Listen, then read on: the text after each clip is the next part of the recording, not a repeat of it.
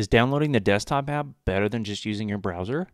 For somebody who lives with a million tabs open at all times, yes. In today's episode, we'll explore the differences and benefits to using the browser versus using the desktop app for Canva. And before we get into the pros and cons of both, I will tell you that I primarily use the desktop version.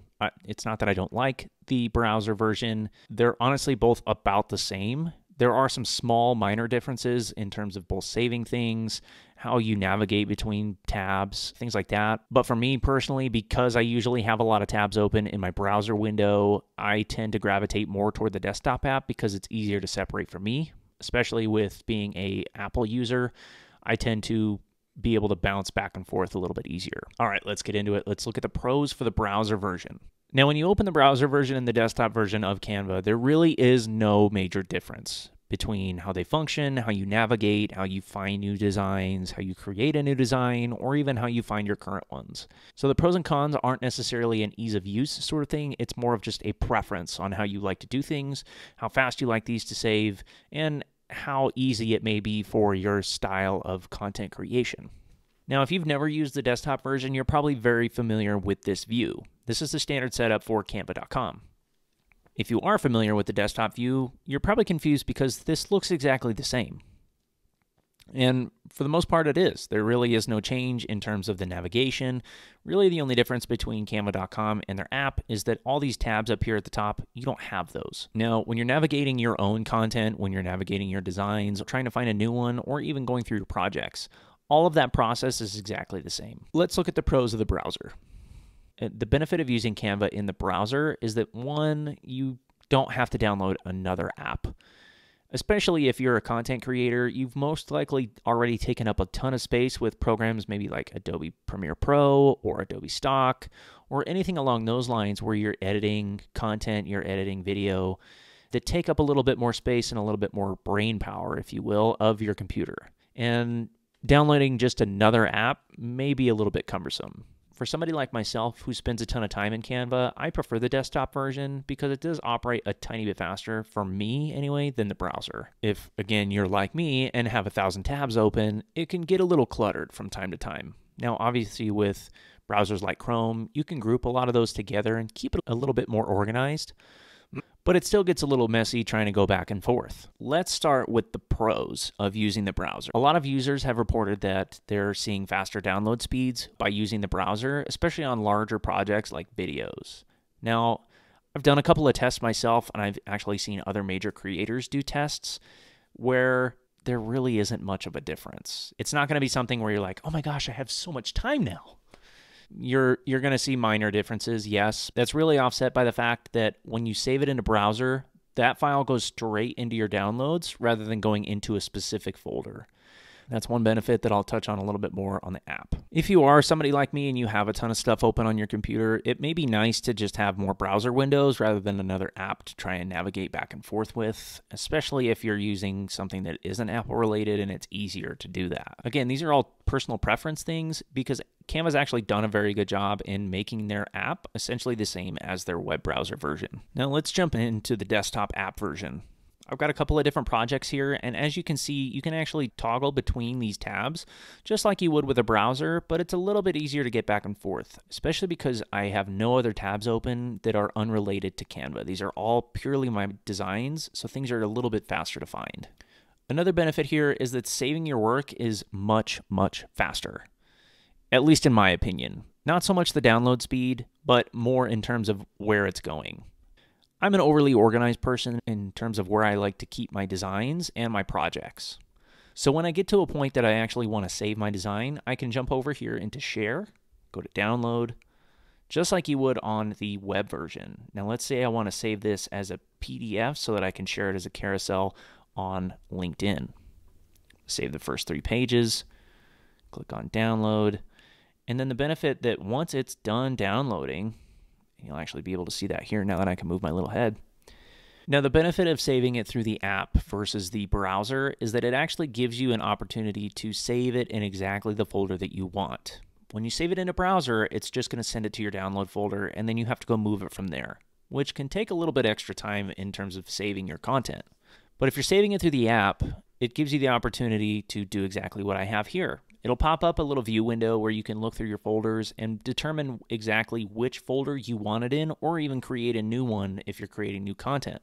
This can be a huge time time saver on the back end of things, especially when you try and go and drag in content into the platform. Now, again, I'm overly organized in terms of my folders. I, I probably have thousands of folders that I can keep myself organized between my client work and my nine to five.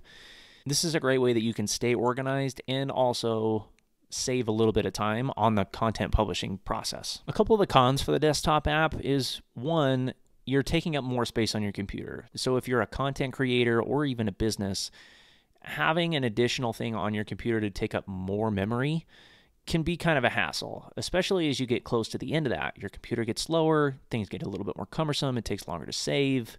It, it can be a little bit of a trouble down the road. However, the app isn't that big, so I really don't have an issue with it. And pretty much all I do is create content for clients, for my nine to five, and for myself. One con that I've personally seen, and I have seen a, a, few other people in some forums talk about, is that saving can be a tiny bit longer in the desktop app in terms of the download speed when you have other things open. If you're trying to do multiple things at once, obviously your computer is going to run a little bit slower. But again, the time that you save in the organization side of things by saving into a specific folder will counteract this. In doing research for this video, I did see a lot of complaints from when the app first came out a couple years ago that people were finding a lot of bugs, that the app was very glitchy. I've been using the app for the last couple of years, and I will say that over the course of the last year, especially, I haven't really had any issues at all. Most of the issues that I have are related more to my computer than anything. So I can definitely say that Canva took the time on their app and actually listened to a lot of those complaints because most of those bug fixes that were mentioned have since been fixed. Now, even though I'm a massive proponent of Canva, there are a couple of things that I would definitely love to see for them to improve. Number one is understandably difficult, and I completely understand as to why it's not available yet, but I would love to be able to work on some of my content on the go without Wi Fi. Now, while most of our world is controlled by the internet at this point and is accessible pretty much everywhere, every copy shop, most airports, and even airplanes have Wi Fi to where you can work on a lot of this stuff on the go.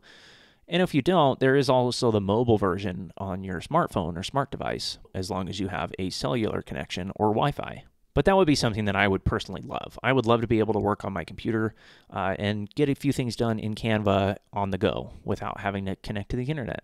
Now, I understand that this is a huge challenge, especially for the fact that you're connecting to so many different assets from the templates from millions of creators across the globe to elements and graphics, and then finally the photo and video library. Those last three things on its own are absolutely massive, so I can completely understand not having access to those on the go.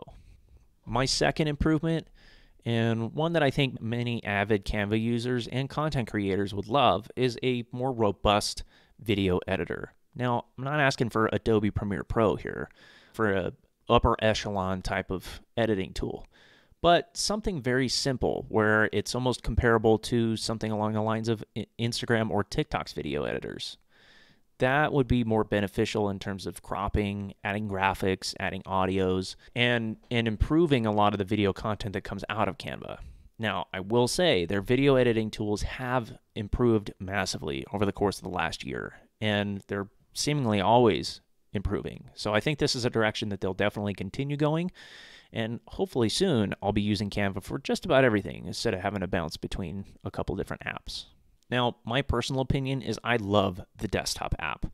I'm in Canva a good majority of my day. I would say about 50% of my day is in Canva creating for either myself or clients. It doesn't take up that much space on your computer, and if you have a computer with enough storage space, you're not going to see the difference. Most of us do tend to use a internet or network based saving tool, something like Google Drive or iCloud or Dropbox is one of the ones that I use.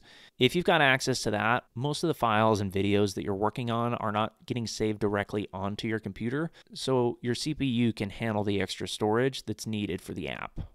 And honestly, if you're creating content either for yourself or your business, Canva is definitely worth downloading. I mean, you're you're going to have access to everything on the app. You're going to be able to stay separated from your browser and and have a little bit more control over where it's getting saved and how it's getting saved. So my personal opinion, the app is definitely worth it, but it's not for me to decide for you, that's for you. So what do you think? Thank you for joining me today on the Canva Code. If you haven't already, hit the subscribe button on YouTube, follow me on Apple Podcasts or on Spotify, and stay tuned for more insights on how to use design and Canva to thrive. Thank you for listening, and remember, you Canva do it.